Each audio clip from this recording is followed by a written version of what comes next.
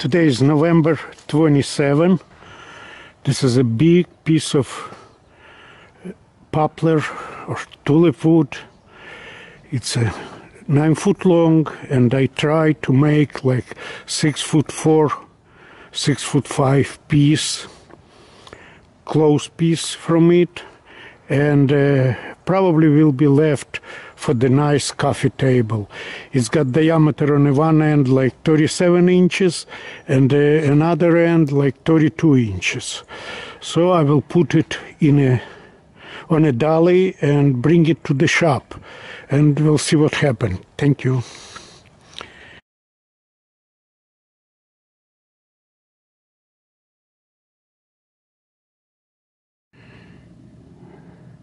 Okay, it took me three hours to load it on a dolly, take a bark off, and bring it in a shop.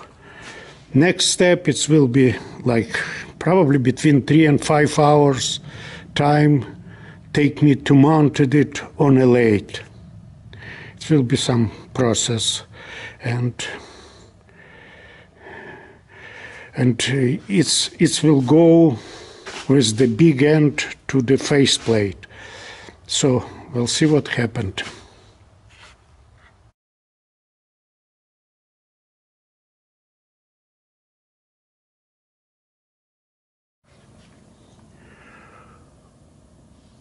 Okay, piece ready to spin and I start spinning it. It's weight probably a little bit over the tone. So I will show you different stages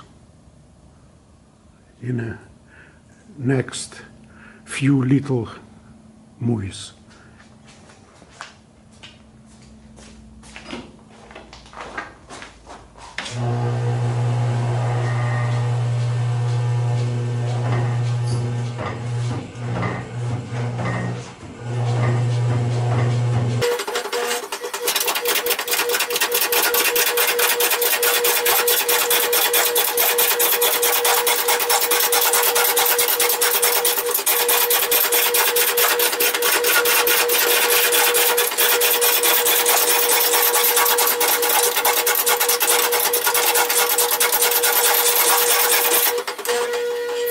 Thompson roughing gouge.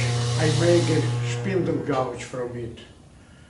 Little different sharpening and work very well.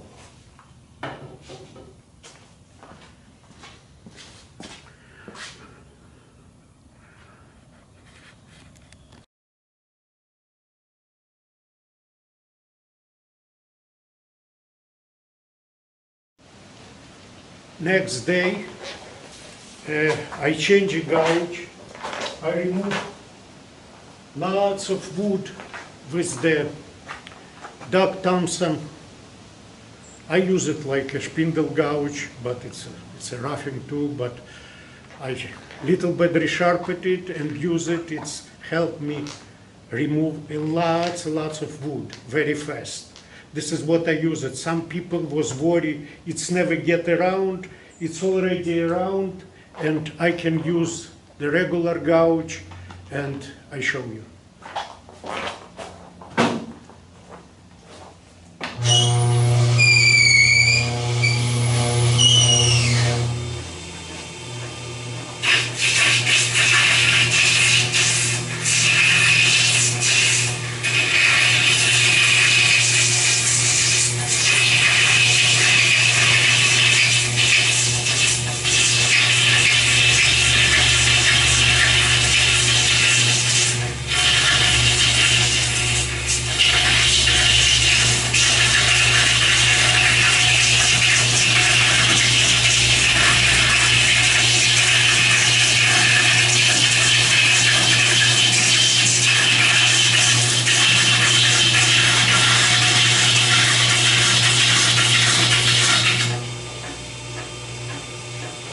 Shaving coming from this gouge, probably around one inch, one by eight thick.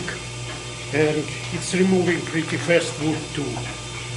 So I now starting shape it. And when I will shape it, I will make a next segment. Thank you.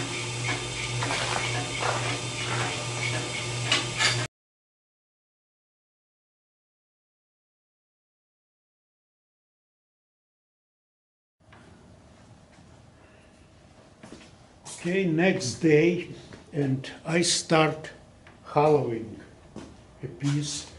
I roughly shape it. It's not final shape, it will be much more work, but I start hollowing it. Hollowing going on through the three and a half inch hole with my boring bar. What, I mean, it's a solid, almost 10 foot, not almost, it's a 10 foot solid, one three quarter by one three quarter piece of metal with the cutters. I got few different cutters, and uh, people ask me sometimes if I if I get a catch and will be through around the shop. I'm answering no, because I work with this boring bar to design it in a way to be not dangerous. And I never have a catch, and I hope never will. Little catch, if I got my tip on a boring bar designed in a way it can limit it how much it can catch. It's scraper sticking very little from the main head. So it's even the catch happened, it's very fast spinning normally. Now, in a case something wrong happened with me or something, my V-belt pulley, they very, they are not tight. They spin. And if something happened by the boring bar, I can stop it very easy. Just apply pressure on the boring bar. So this is for people who ask me if I get catch. No. And now I show you how it's spinning. Uh,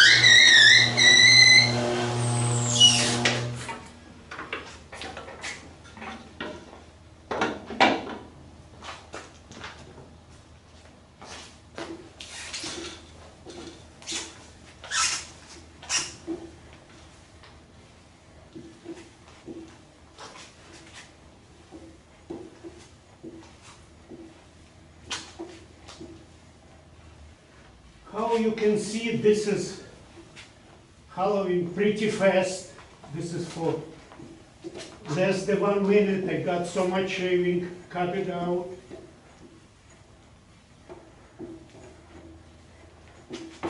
So I believe for deep hollowing, scraping, it's just one best way for do this. Not a cutting, because when you cut inside, this is where you can get a real serious, real serious catch.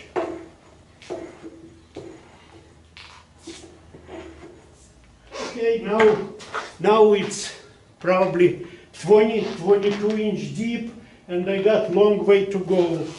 So will be next video. See you later. Thank you.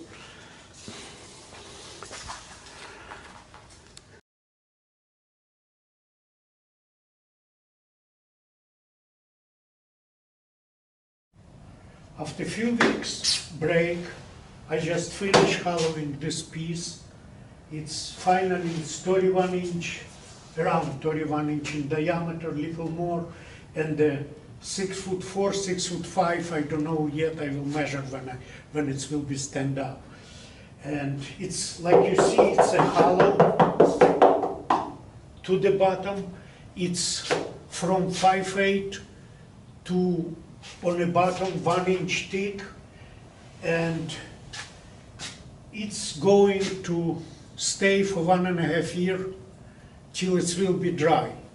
I left this uh, a round belt from the it's, it will be made some details from it, or I will be cut it off later. We'll see how it's becoming the final, finals about this. So